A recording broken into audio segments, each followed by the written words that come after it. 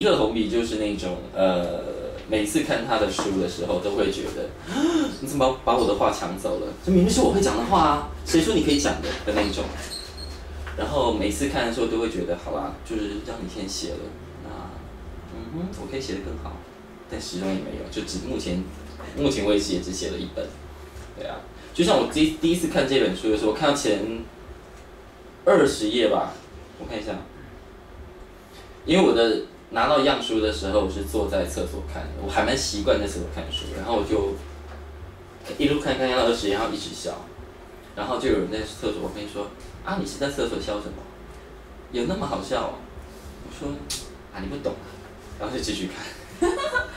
对啊，就是这样，就是呃，还好目前没有人这样说过，就是比方说说小啊小树抄袭尼克红笔啊，但是我每次看他的书的时候，我都心里有一点。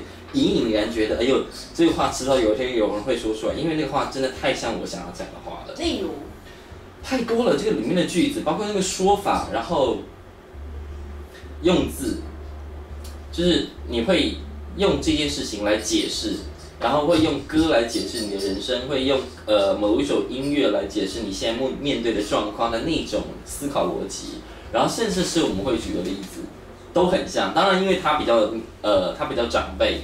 所以他会举一些呃，第一我可能没有那么熟的团体，比方说像世界排行榜，他会举那种呃什么现在最应该被枪杀的五个乐团，那里头里头有 Simple Mind 这种事情。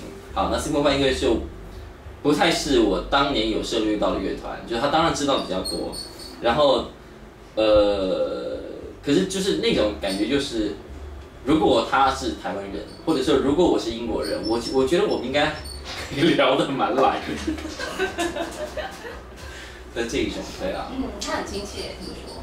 我相信。他是英国国民的那个作者嘛？对。可是我看到这本书的时候有点讶异，就是他怎么会写这种，呃，未婚生子的的这种东西？就是他当然处理很多那种他大人跟小孩之间的状况，他处理了蛮多事情，蛮多次的。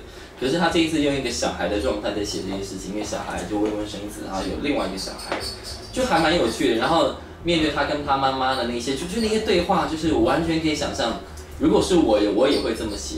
当然我这样讲非常不要脸，因为我并没有把它写出来。